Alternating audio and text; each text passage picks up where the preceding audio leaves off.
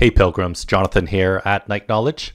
Dying Light 2 is available and I want you to have a great first time experience. So in today's quick video, I'm going to show you 5 settings in your options you should look out for.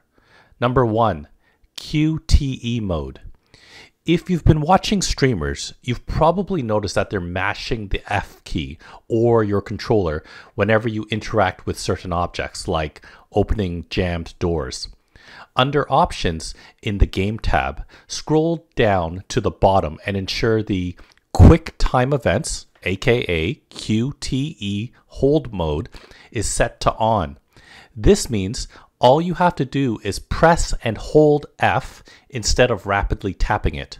Your keyboard or your controller will thank you for it. Number two, Gamma.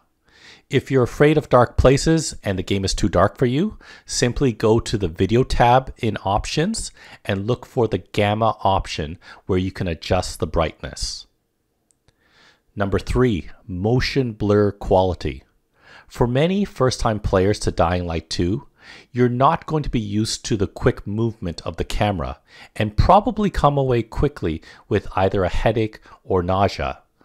Under the Video tab, select F at the bottom for Advanced Video Settings, and near the middle, you can set the motion blur quality to none.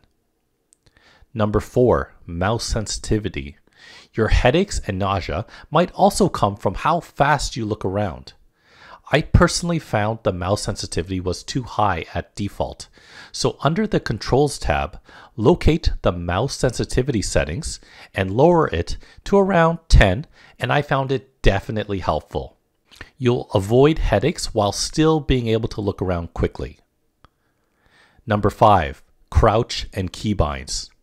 I personally am used to crouching in my games through the left control key, but the default for PC is set to C. You can set it under the Controls tab and selecting F to change your keybinds. So those are five quick settings you should look out for before you start playing Dying Light 2. I hope they helped you out. Check out the rest of my channel for other videos on Dying Light 2, video games, board games, and other fun things. Thanks for watching, and I'll see you next time.